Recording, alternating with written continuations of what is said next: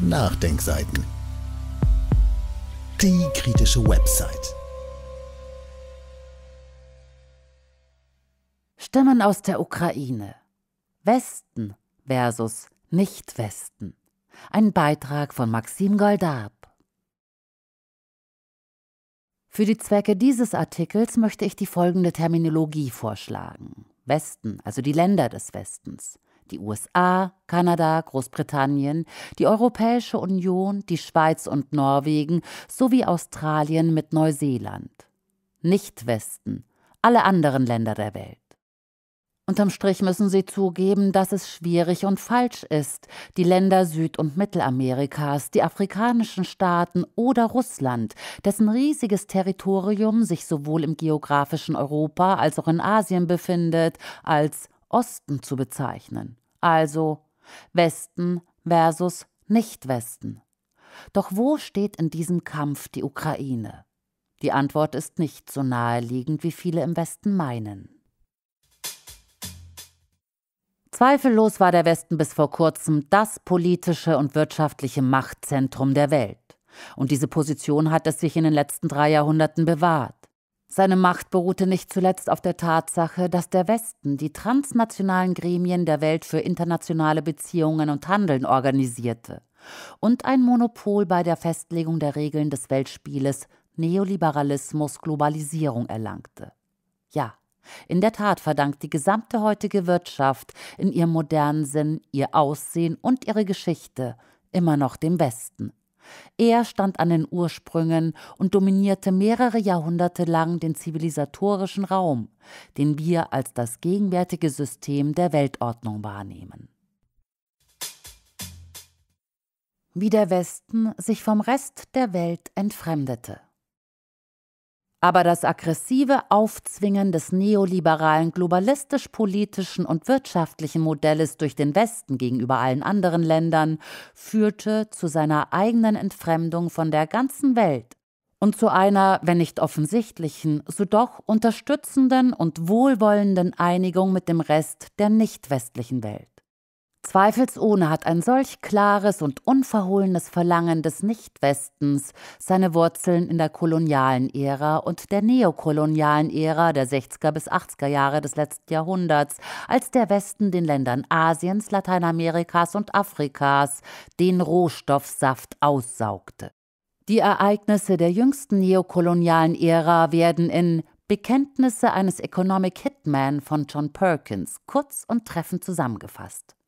Männer und Frauen kommen aus ihren Firmenzentralen in New York, Chicago, San Francisco, London und Tokio und eilen auf jeden Kontinent, um korrupte Politiker davon zu überzeugen, ihre Länder von der Korporatokratie fesseln zu lassen und verzweifelte Menschen zu zwingen, ihre Körper an Ausbeuterbetriebe und Fließbänder zu verkaufen. Zitat Ende.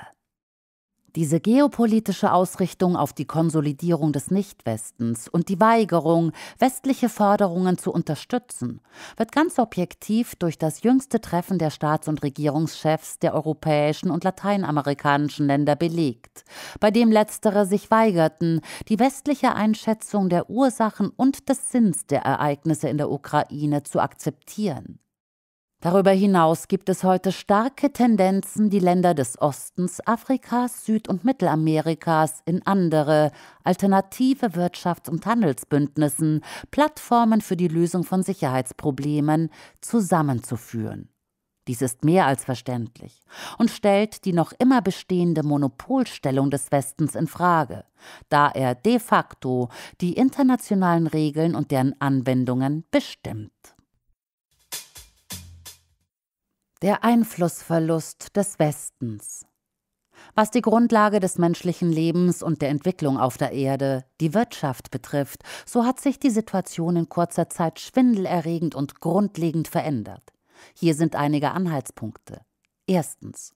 Während Anfang der 90er Jahre des letzten Jahrhunderts mehr als 50 Prozent des Produktionsvolumens der Weltwirtschaft auf den Westen entfielen, beträgt diese Zahl heute nur noch ein Viertel. Der Rest gehört dem kollektiven Nichtwesten. Zweitens. Standardmäßig gehören aufgrund der Wirtschaftsgeografie die wichtigsten Ressourcen des Planeten, vor allem die Energieressourcen, den Ländern, die nicht dem kollektiven Westen angehören. Was jedoch nicht Standard ist, ist die Tatsache, dass der Nicht-Westen bereits weitgehend gelernt hat, diese Reichtümer selbst zu nutzen, indem er sie zur Herstellung seiner eigenen Mehrwertprodukte einsetzt, westliche Produkte immer weniger benötigt und darüber hinaus auf seinen eigenen Märkten perfekt mit dem Westen konkurriert. Drittens. Während die westliche Welt demografisch schrumpft, wächst die nicht westliche Welt. Von den acht Milliarden Menschen auf der Erde lebt nur eine Milliarde in westlichen Ländern. Bislang hat der Westen, vor allem nach Ansicht westlicher Analysten, einen gewissen Vorteil in Sachen Militarisierung und Verteidigung. Heute sind jedoch viele Vertreter nicht westlicher Länder mit Atomwaffen ausgerüstet, deren Einsatz im Falle eines umfassenden oder globalen Konfliktes die anderen militärischen Fähigkeiten und Vorteile um ein Vielfaches übersteigt und den globalen Tod aller Beteiligten nach sich zieht. Es lohnt sich also kaum noch über seinen, des Westens Vorteil gegenüber dem Nichtwesten zu sprechen. Die NATO wird heute, trotz des scheinbaren Wachstums, von innen heraus durch solche innere Widersprüche zerrissen und erschüttert, die insbesondere in Anbetracht der Entwicklung der aktuellen Situation in der Ukraine in Kombination mit der internationalen Lage durchaus zum Zusammenbruch des Blocks in den nächsten Jahren führen könnte. Wie man sieht, ist der Westen nicht mehr in der Lage, den globalen Trend zur Beseitigung der westlichen Hegemonie aufzuhalten. Den planetarischen Trend zur Schaffung einer multipolaren Welt, der von der absoluten Mehrheit der Länder der Erde unterstützt wird. Außerdem scheint es ein gutes Ergebnis für ihn, den Westen zu sein, zumindest die Schaffung einer Situation des Gleichgewichtes mit dem Nichtwesten in Fragen der Dominanz auf der Weltbühne. Ich möchte diesen Teil des Artikels mit einem Zitat aus dem bekannten Standardwerk des britischen Historikers Arnold J. Toynbees, A Study of History, zu Deutsch, Der Gang der Weltgeschichte beschließen. Der Westen gewann die Welt nicht aufgrund der Überlegenheit seiner Ideen, Werte oder Religion, zu der nur eine kleine Anzahl von Vertretern anderer Zivilisationen bekehrt wurden, sondern vielmehr durch die Überlegenheit in der Anwendung organisierter Gewalt. Westler vergessen diese Tatsache oft. Nicht-Westler werden das nie vergessen. Zitat Ende. Im Bewusstsein dieser Tatsache sowie der offensichtlichen Tendenzen zur Entglobalisierung und Multipolarität haben prominente Köpfe des Westens seit langem damit begonnen, Kompromisse und Schnittmengen mit der Welt zu suchen, anstatt Differenzen und Betreuung. Die Rolle der Ukraine und nun, unter Berücksichtigung all dessen, was geschrieben wurde, einige Gedanken über mein Hemd, über die Ukraine. Für die Ukraine wurde der Kurs der angeblichen Bewegung in den Westen von außen bestimmt. Sie wurde von außen bestimmt, da eine solche Richtung nicht vom ukrainischen Volk und nicht von dessen Willen gewählt wurde. Ich sage angeblich, weil im Ergebnis all diese Bewegung eine Fiktion ist. Dies ist eines der Ziele des 2014 durchgeführten Maidan und des Machtwechsels. Das ukrainische Volk hat nicht für einen Kurs in der NATO gestimmt. Das haben Poroschenko und das von ihm kontrollierte Parlament getan. Es gab keine Willensbekundung des Volkes zu einer so wichtigen und schicksalhaften Frage. Durch die Assoziierung mit der EU hat die Wirtschaft unseres Landes ihren industriellen Charakter verloren und ist zu einer ressourcenbasierten Agrarwirtschaft geworden, die von Europa abhängig ist. Die sogenannten neoliberalen Werte, die den Menschen aufgezwungen werden, widersprechen der Geschichte, dem Geist, den Traditionen, dem Glauben und den Wahnwerten der Ukrainer. Durch den Abbruch der Beziehungen zu Russland verlor das Land billige Ressourcen und Märkte, die zuvor seine Wirtschaft stützten.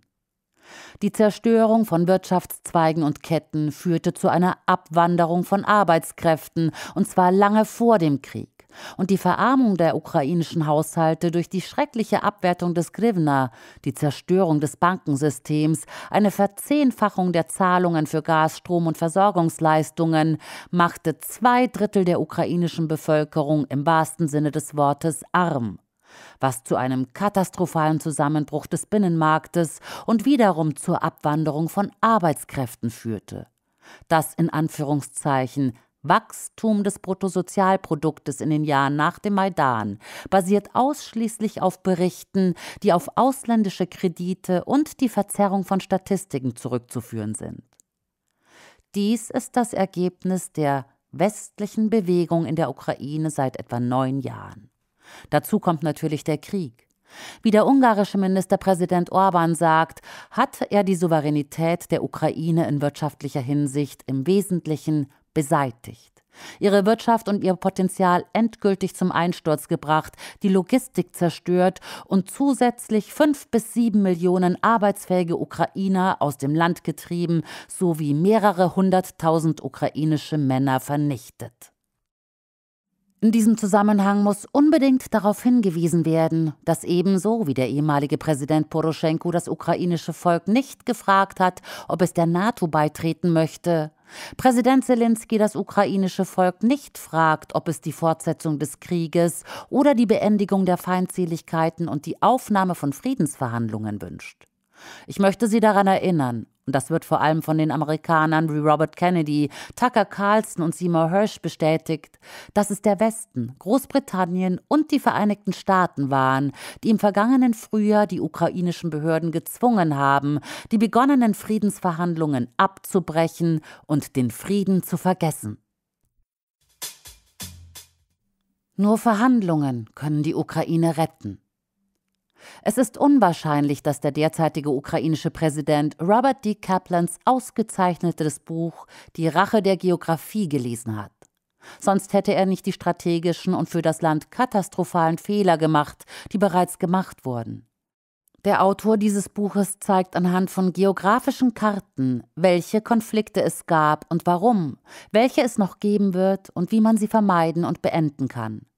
Die Hauptidee dieses Buches ist die Fähigkeit zu verstehen, dass bestimmte Staaten und Völker geografisch an bestimmten Orten, auf bestimmten Kontinenten, benachbart zu anderen Staaten und Völkern liegen. Und weise Herrscher und Regierungen sind verpflichtet, die Lage ihrer Länder und Völker und Nachbarn zu berücksichtigen, um zu lernen und in der Lage zu sein, zu manövrieren, nicht zu konfligieren, nachbarschaftliche Wünsche zu berücksichtigen, sich zu entwickeln und nicht zu kämpfen. Wenn der Krieg in der Ukraine weitergeht, wird a priori nichts Gutes passieren. Denn die Ukraine ist das Epizentrum mit all den damit verbundenen zerstörerischen Wirkungen. Die einzige Möglichkeit, das Land zu retten, sind Verhandlungen und das Erreichen von Frieden. Eine Welt, die auf Realitäten beruht und nicht auf den krankhaften Ambitionen einzelner Politiker. Quellenangaben und weiterführende Verlinkungen finden Sie im Text auf www.nachdenkseiten.de oder im Beschreibungstext unter dem YouTube-Podcast. Dieses Audio konnte nur entstehen, weil zahlreiche Leser und Leserinnen die Nachdenkseiten fördern und durch Spenden unterstützen. Wenn Sie auch etwas tun wollen, klicken Sie einfach den entsprechenden Button auf unserer Website an. Übrigens, Sie können uns auch bei iTunes, SoundCloud und YouTube hören und wenn Sie mögen, gerne unseren Kanal abonnieren und eine positive Bewertung für uns abgeben. Wir freuen uns über Ihre Unterstützung und die Weiterverbreitung unserer Inhalte.